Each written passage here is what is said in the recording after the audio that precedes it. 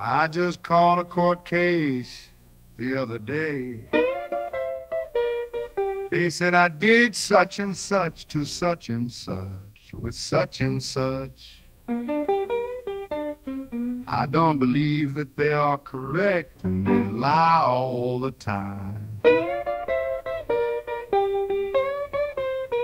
I know that they filed taxes. I know that the prosecution filed taxes as an agency. I know that the court itself files taxes. It's called the CAFR. It's Comprehensive Financial Report.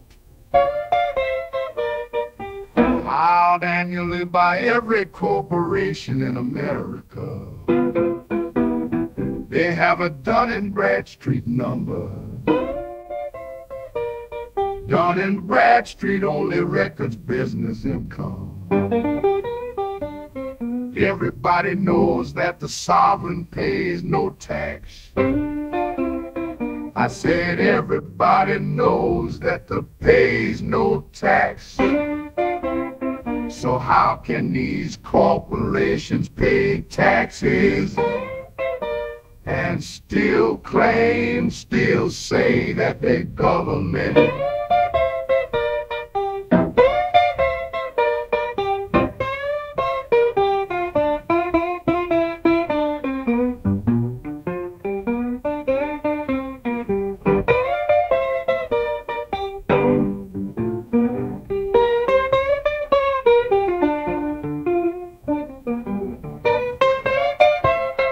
I just caught a court case the other day. They said I did such and such to such and such and such. I don't believe that they are correct. They lie all the time. I know that they file taxes. I know that the prosecution filed taxes as an agency. I know that the court itself files taxes. It's called the CAFR. This comprehensive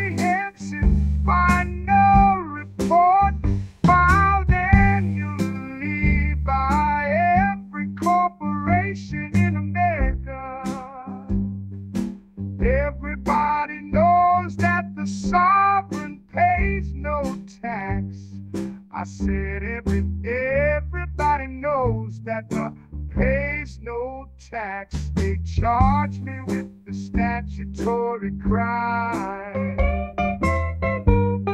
They know that statutes are not the law.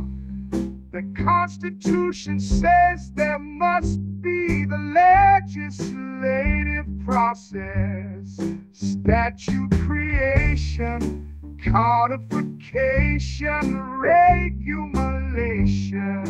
None of these, these abominations are laws.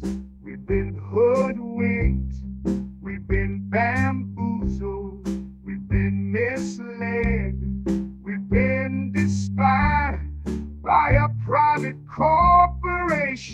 For the record, Your Honor, I have the right not to be held by involuntary servitude. I have been held to answer for presumptions.